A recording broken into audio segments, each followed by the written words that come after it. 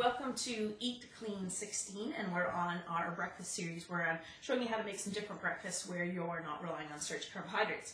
I'm going to have to go quick here because my trusty assistant is eating some of uh, the ingredients, so let me go over really quickly what ingredients you're going to need today. So we're making kind of a peaches and cream type omelet. You're going to need uh, some peaches, fresh or frozen. Uh, I've got about uh, two cups here. You probably don't need quite that much. We may or may not use all of that. Again, if you're trying to uh, minimize your calories, you want to go with just um, a little bit fewer peaches. If you're just aiming for uh, energy and maybe even weight gain or performance, then go ahead with the full two cups of peaches. You're going to want half a cup each of cottage cheese, 1% fat cottage cheese, and Greek yogurt, um, unsweetened, please. Uh, it doesn't have to be Greek yogurt, but that would be ideal. And we've also got pecans. There's our healthy fat. It was about a quarter of a cup, but my trusty assistant has been uh, noshing away as we go. Some olive oil, uh, cooking spray if possible, stevia to sweeten, or something like a maybe a little bit of honey. You could use a, a teaspoon of honey if you want, and some cinnamon for flavoring. And I think egg whites, if I didn't, might help me out here a little bit. Do this as quickly as I can. So we're going to take one cup of egg whites, we're going to mix that with some cinnamon. You want some? Yeah, you can help. You can a half a teaspoon of cinnamon. Good job, buddy. So mix that up. And we're going to take, for my case, I'm going to sweeten with stevia, and we're going to take four little micro teaspoons, this is about 1 32nd of an actual teaspoon of stevia. And we're going to mix that all up together. And then in a second, what I'm going to do is I'm going to put that over on the frying pan and I'm going to cook that up like an omelet. So I'll come back to you once I've done that and I'll give you a couple little hints on what that looks like. That's all mixed up. The pan is a little bit hot. I'm going to spray the pan. I'm going to pour this mixture of egg white, cinnamon, and stevia into the pan and I'm going to let that cook up like I would an omelet. So what I'm going to do is I'm going to pour it into the pan. I'm going to probably let it cook for about two minutes until I start to see the top getting a little bit bubbly. I'll use my flipper to peek underneath and uh, see whether or not the bottom is a little bit golden brown. If it is, then I'll flip it. And I'll show you that in just one second. So first, spray on the pan, and then I'll put the eggs in. Okay, meanwhile, while I've got the eggs in the pan, cooking in the pan, and I keep on flipping back to make sure they're not overcooked. We're going to mix together, and Jacob might help me with this. I'm going to do half a scoop of cottage cheese, so that's so our half a half a cup of cottage cheese. You want to put that in there, buddy? Flip that in. Make sure it's all going in. And we'll get a spoon to mix that up. Perfect. And then I'm going to do half a cup of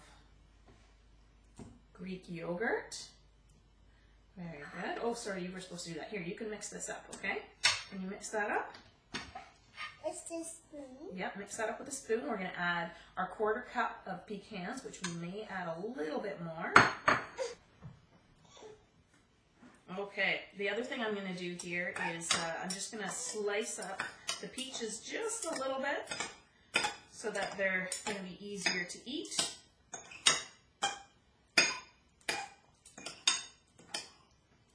So what I'm making here, this is going to be one humongous serving, or probably two two reasonable sized small servings. So two um, healthy portions for a female. This would be equivalent to, or about, this is maybe about um, one very large portion for a male. If a male was making this, they might have almost maybe three quarters of, of what I'm making, or if they're very active, a very active male, they might have the, the whole entire thing. Okay, so we're going to add some peaches. You want to keep stirring that. Now my trusty assistant again is eating the ingredients. That probably means that's good. He's enjoying it. Okay, we're going to mix that up. While my assistant is mixing that up, I'm going to go check on the omelet and see how. So this is what the omelet looks like in the pan. So you can see the cinnamon is uh, kind of risen to the top. We've got a little bit of bubbling action here. Um, and I'm just going to double check the bottom. Still a little liquid, liquidy on top.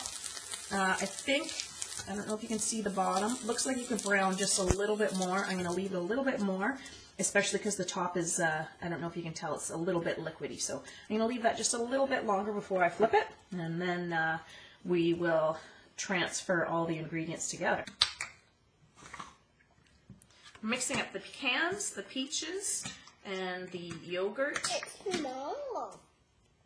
It's Now I realize what I've done here, which I probably should have done. This is um, one way to um, improve the recipe. Is I've added in the canned peaches, which had which were packed in water. So this is going to be a little bit liquidy. Um, what Wiggly. as I add this, I'm going to scoop it uh, when I add it onto the omelet. I'll scoop a little bit at a time instead of just dumping the whole thing in, in because it is a little bit liquidy. But I'm sure it'll still taste delicious. There we go.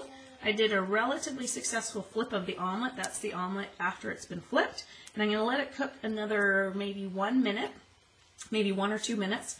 I'll double check the underside. Uh, and when that looks somewhat like the top does here, then I'm going to transfer this onto a plate and then put our Mm. Okay, so we've uh, made our omelet. So this uh, came off the frying pan. You can see what it looks like on both sides. So we've got the cinnamon and we've got the egg and a little bit of stevia. And now what we're gonna do is we're gonna place. I'm not gonna He's put. gonna like some. You are gonna like some.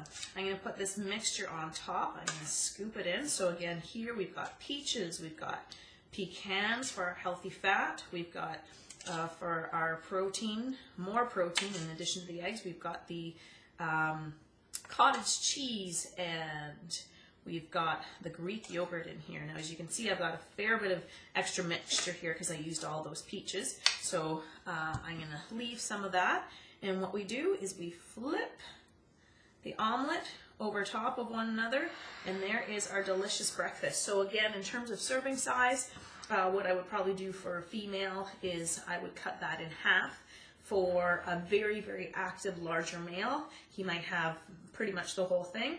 For um, a moderate sized male, he might have say three three quarters um, uh, to the whole thing probably more like three quarters for that but jake and i are going to test this out and enjoy this together so hope you uh, enjoy that and i'm really excited because it does look like a delicious meal and i can't wait because i'm hungry for breakfast so just a quick little side note, uh, as you saw that when I uh, made the mixture of the cottage cheese, the yogurt, and the peaches and the pecans, I had a fair bit extra.